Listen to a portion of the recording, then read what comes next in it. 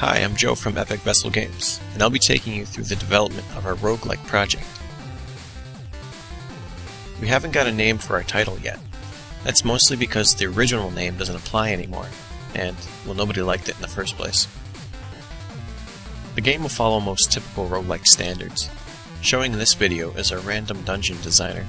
This was scripted to be editable and customizable. In addition to giving us more freedom, the player will also be able to create some custom dungeons and share them with their friends. I've slowed down the process so you can see how a dungeon is created. The code uses an algorithm to dynamically generate various rooms. It can be set to create precise rooms of a particular size, or more random so that more open spaces, hallways, and various room layouts are created. What you currently see is the default dungeon. We chose to go with an atmospheric look of darkness and the unknown. We want the player to feel that danger is right around the corner, because usually it will be. Because of the roguelike nature of the game, the deco items won't usually have animation. If you do see something that has life to it, you can bet it's something special. We've played a lot of roguelike games. Picking how the character moves was not a light decision. There are many small nuances that can change the pace, style, and feel of the game. We chose to go with a turn-based style that lets the player complete their move before the AI makes their moves.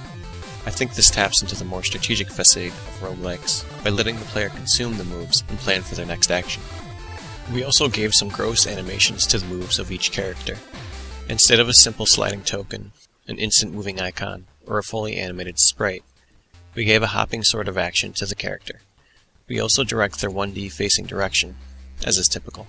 This video only hopes to show the basic dungeon design and basic character walking functions. The enemies here don't do much, other than chase the player if they're spotted. You'll notice, however, that if one of these little skeletons collides with the player, a blood animation ensues. Of course, a skeleton won't be creating showers of blood, but we want to test how to best impact the play environment. Drawing blood and other effects seem like a good way to let you know where you've been and what you've done.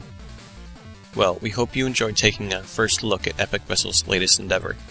We're hoping to find alpha testers among our audience, so if you want to help us out, please follow our game. We thought the best way to pick is from our pool of supporters. You can visit our website at www.epicvesselgames.com or check out our other title, Potion Master. Thanks for watching. Look for another update in about a week.